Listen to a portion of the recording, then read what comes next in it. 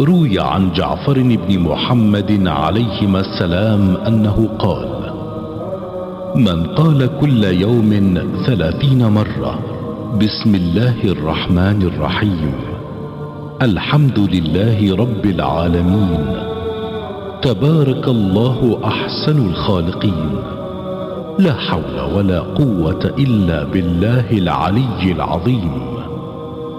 دفع الله عنه تسعة وتسعين نوعا من البلاء أهونها الجنون. مستدرك الوسائل الجزء الخامس. الصفحة 376